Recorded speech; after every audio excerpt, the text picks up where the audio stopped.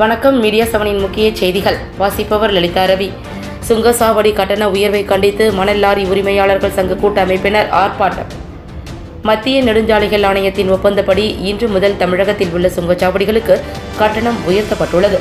இதற்கு எதிர்ப்பு தெரிவித்து தமிழ்நாடு மணல் லாரி உரிமையாளர்கள் சங்கங்களின் கூட்டமைப்பு சார்பில் அதன் தலைவர் யுவராஜ் தலைமையில் ஐம்பதுக்கும் மேற்பட்டோர் போரூர் சுங்கச்சாவடி அருகே கட்டண உயர்வுக்கு எதிர்ப்பு தெரிவித்து கட்டண ஆர்ப்பாட்டத்தில் ஈடுபட்டனர்.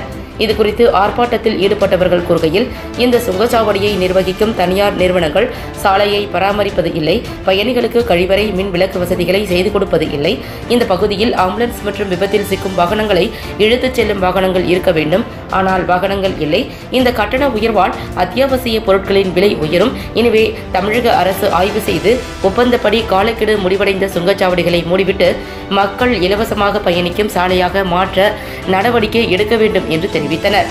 இதனையடுத்து ஆர்ப்பாட்டத்தில் ஈடுபட்டவர்களிடம் மதுரவாயில் போலீசார் பேச்சுவார்த்தையில் ஈடுபட்டதை அடுத்து அவர்கள் கலைந்து சென்றனர்.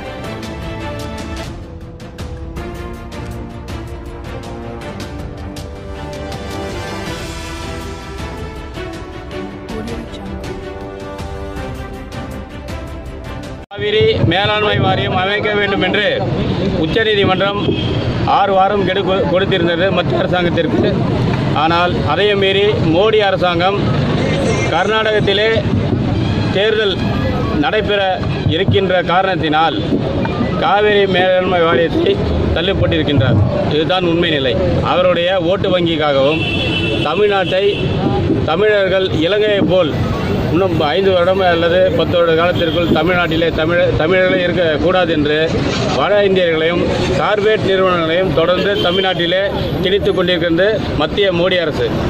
அதன் காரணமாக எங்கள் இளம்புயல் தலைவர் நாணயம்படி காவிரி மேலாண்மை வாரியம் அமைக்க வேண்டும் என்று இன்று நாங்கள் தமிழகம் எங்கும் சுங்கச்சாவடியை முற்றுகையிட்டு சுங்கச்சாவடியிலும் வரி கொடுக்க தர தரக்கூடாது என்று நாங்கள் கூறி கூறியிருக்கின்றோம்.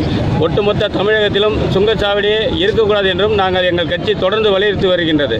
ஆதலால் காவிரி மேலாண்மை வாரியம் உடனடியாக அமைக்க வேண்டும் என்று முதல்கட்ட நடவடிக்கையாக இந்த சுங்கவரி தடுப்பு போராட்டத்தை நாங்கள் நடத்தி கொண்டிருக்கின்றோம்.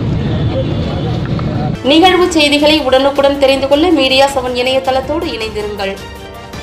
மீடியா செவன் சிறப்பு செய்திகளுக்காக கன்னியப்பனுடன் கதிரவன்.